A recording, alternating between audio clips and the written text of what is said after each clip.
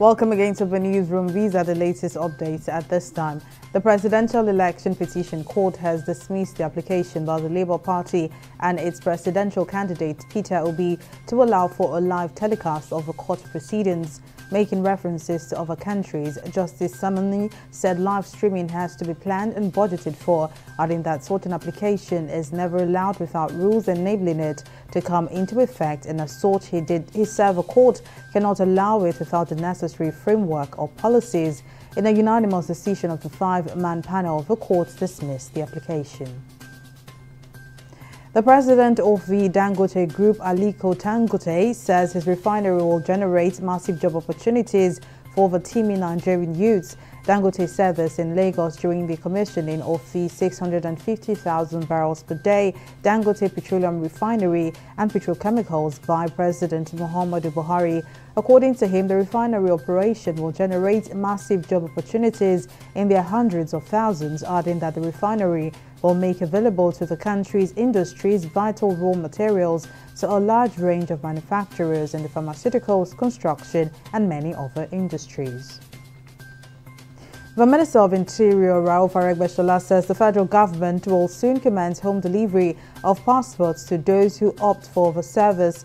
The minister who made a disclosure at the opening of the Nigerian Immigration Service Passport Front Desk office in Auchi, Edo State said it is the intention of the federal government to provide the passport for anyone desirous of it within a reasonable time at an affordable price and without any stress.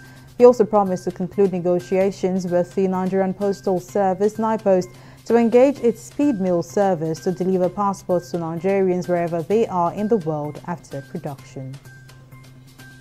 And Singapore Prime Minister Lee Hsien Loong has tested positive for COVID-19 for the first time after returning home from work trips in Africa and Asia. Due to his age, the 71-year-old said he was prescribed the Paxlovid antiviral medication. Lee said his last COVID-19 vaccine booster was in November and urged Singaporeans to keep their vaccinations up to date to reduce the risk of severe illness. In business, President Muhammadu Buhari has inaugurated the Dangote Petroleum Refinery, an illustrious project expected to catalyze the transformation of Nigeria's energy sector. The landmark inauguration comes a decade after Aliko, Aliko Dangote, Africa's richest businessman, announced plans for the refinery in September 2013 when he secured about $3.3 billion in financing for the project.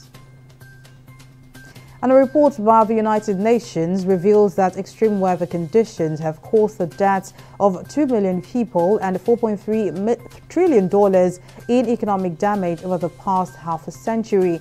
According to the new figures published on Monday from the United Nations World Meteorological Organization, 11,778 weather-related disasters have occurred from 1970 to 2021 and they have surged over that period. And in sports, Manchester City celebrated their third consecutive Premier League title on Sunday as a much changed side was still good enough to beat Chelsea 1-0 at the Etihad. Pep Guardiola's men clinched a fifth title in six seasons on Saturday when second-place Arsenal were beaten 1-0 at Nottingham Forest. Defeat confirmed that Chelsea will end a miserable campaign in the bottom half as the Blues have struggled under three different managers this season. That's all on the newsroom. Thank you for watching. I am Mary Kanu.